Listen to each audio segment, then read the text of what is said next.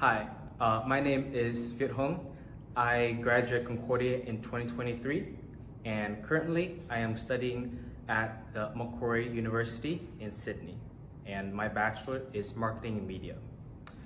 Um, how Concordia prepared me? For Vietnamese, uh, I, I believe that I'm able to understand the different culture from other international students better. Uh, I'm able to have a different perspective uh, when it comes to understanding and communicating with different people from different backgrounds.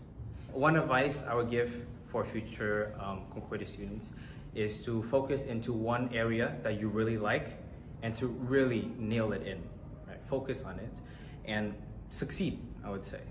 One accomplishment that I'm really proud of is I earned my Eagle rank for Boy Scout of America, which there are a lot, not a lot of people uh, that could get that, not even in just America, in Vietnam, and I believe I'm among of like the sixth or six or seven people that actually could earn Eagle Scout, uh, specifically in Vietnam, which I'm really proud of.